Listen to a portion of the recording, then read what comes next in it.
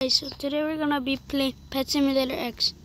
So today what I knew is that you put you you go like down here looks like Preston put all these cheaper and also they have this one like you can open eight instead of one.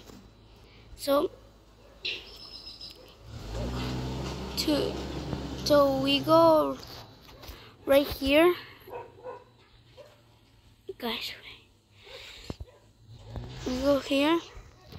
Um these ultra lucky super lucky they don't give you none of the boosts that you need. So today we're gonna be opening some huges.